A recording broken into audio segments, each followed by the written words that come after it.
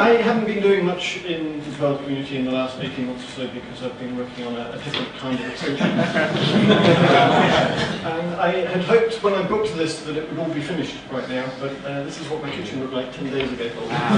so I've been a little distracted. Hopefully it's coming to an end and I can do some short pop-up Perl work. But this is something that I did in the last year or so that I thought uh, might be interesting. Like many businesses, we have uh, an Perl code.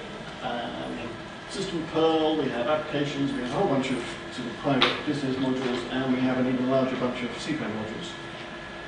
We have about uh, 5,000 modules, so a couple hundred distributions worth installed over many years in, into this CPAN directory. We just sort of dump modules in, uh, and this code runs on many systems.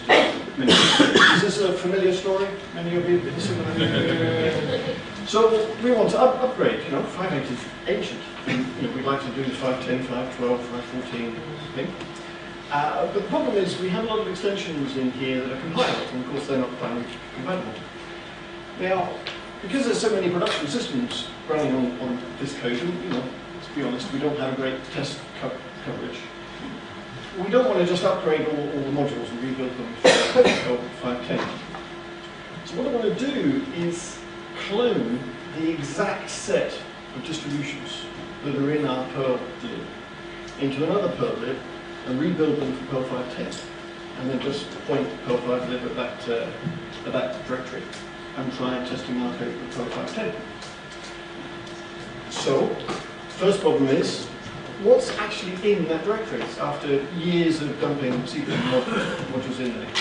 Now, I, I, thought this would be quite straightforward. You know, I had vague memories of Packlist, of a perllocal.pod uh, installed, you know, some work by brian d foy on something similar.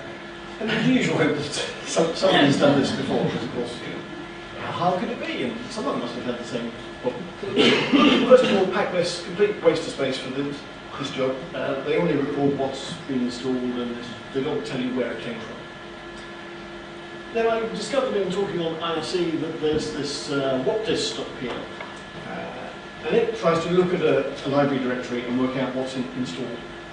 But it only tells you the latest distribution that will give you that module list.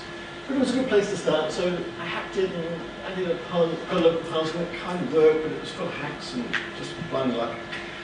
But local, it turns out, is rather less useful than it appears to be. The records a name and a version, but they're just the name and the version in the makefile.pl, which may bear no relation to the name of the modules installed, the name of the distribution, or the version of anything. Uh, and then the real final nail in, in, in the coffin is that it's incomplete. Everything that's a lie, it's module build that's oh, broken. Exaggeration. Okay, forgiveness. As usual. module build. I might add that really soon, though. I then, I then discovered this, and I thought, yes, perfect, that's just what I want. Unfortunately, it doesn't, it doesn't work. It just fails in all sorts of, all sorts of ways.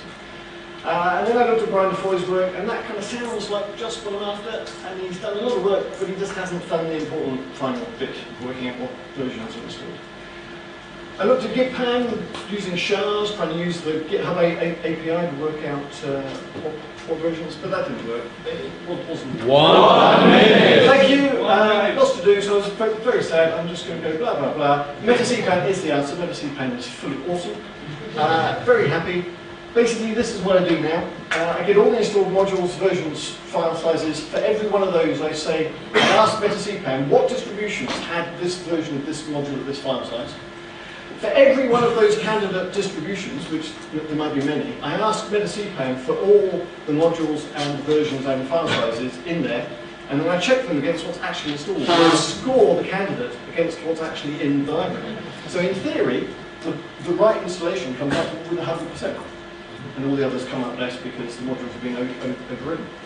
So, here's a log. Uh, beavering through, so for example that's a commercial one, not found on Various things get flagged up. For example, uh, file size changes because we might have uh, we might hack the code, so it tells you if you've got hacked versions. Blah blah blah, all sorts of things it does, and then at the end it tries to work out what distributions are the best fit. So what it's finding here is remnants of old in installations modules that have been left over. So it's finding all, all those for you, and then at the end of the day, it spits out a list of exactly what you've got installed. So that's very handy. Okay, so that's kind of half the problem. The next problem is, what, how do you install this stuff? It turns out that you can't simply feed this to cpanm, because cpanm will go and fetch the latest dependencies. What you need to do is you need to build a minicpan. So I, uh, I tried cpan but that, doesn't- was too painful. So finally I just added a make cpan directory. And it just, because it has all, all the information, and it goes off and fetches the distributions, dumps them in there.